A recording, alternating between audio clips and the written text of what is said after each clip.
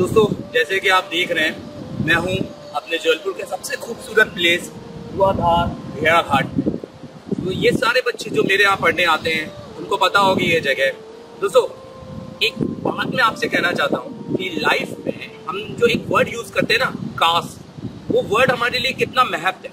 अगर आपको नहीं पता ना, ये कास क्यों यूज़ कर रहे हैं और कास हमें कितना यूज़ करना है, कितना नहीं क्या ज़िंदगी हमारी इस कास पे टिकी हुई है? क्या हमने अपनी ज़िंदगी में पूरी मेहनत की है? फिर भी हम सफल नहीं हुए हैं। उसका मतलब क्यों? मतलब लोग वो सोल्यूशन नहीं निकाल पाते हैं। वो हार्ड वर्क करते हैं। वो सोचते हैं कि मैंने दिन रात मेहनत की है, फिर भी मैं वो सफल नहीं हुआ। ऐसा क्यों? तो ये स्टोरी आप ज़रूर सुनिए। दोस्तों, हुआ क्या? एक अमेरिका में एक कारपेंटर था। वो घर बनाया करता था एक कंपनी के लिए। और उसने सोचा कि अब पैंतीस साल हो गया छुट्टी ली जाए और रिटायरमेंट ली जाए। वो अपने बॉस के पास गया। बॉस के पास जाके उसने सोचा, बोला कि भाई, अब मेरे हो गया है समय, अब मुझे आप छुट्टी दे दीजिए। तो बॉस ने बोला, चलिए ठीक है, आपने पूरी ज़िंदगी भर हमारे लिए काम किया। आपने ज़िंदगी भर हमारे लिए घर बनाए, हमें सेवाएँ दी। तो एक काम कीजिए, एक आखिरी घर और बना दीजिए। तो बस ये आखिरी प्रोजेक्ट, हम चाहते हैं कि आप बनाए। तो क्योंकि बॉस उसके साथ बहुत अच्छा रहा तो उसने बोला, मैं बॉस को मना तो कर नहीं सकता। तो दोस्तों, उसने किया क्या? उसने ना पर वो जल्दबाजी में घर बनाया। उसको रिटायरमेंट लेने की जल्दी थी। उसको जल्दी थी अपने घर जाने की। तो बेसिकली हुआ क्या कि उसने जल्दबाजी में घर बना दिया। स्ट्रक्चर घर का जो जैसा बनाना था, वैसा नहीं बनाया। पैसे कम लगाए और मतलब जो लेआउट होना था, वो सही नहीं हुआ। और जब वो बना दिया घर और बॉस के पास गया और बॉस के पास जाने पर उसने बोला कि लीजिए बॉस मैंने घर बना दिया है, अब मैं जा सकता हूँ। तो उस बॉस ने उसके लिए एक पार्टी अरेंज की थी, क्योंकि फेयरवेल पार्टी थी। काफ़ी समय रहा रिटायरमेंट का फेयरवेल था। बट उसके बाद हुआ क्या दोस्तों? बॉस ने उस घर की चाबी जिसने उसको आखिरी बनाया था, उसके हाथ में ही दे दी।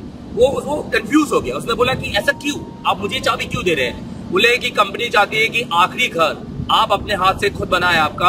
एक हमारी तरफ़ से, कंपनी की तरफ़ से आपको गिफ्ट दोस्तों, आप बिलीव नहीं करेंगे कि वो इतना ज़्यादा वो हैरान हो गया और इतना ज़्यादा वो बेचारा दुखी हो गया कि उसने सोचा कि मैंने इस आखिरी घर में कोई मेहनत नहीं की थी। कि काश, अगर मुझे पता होता कि ये घर मेरे लिए बनना है तो मैं बहुत मेहनत कर लेता और मेहनत करके इस घर को मैं एक नया रूप देता।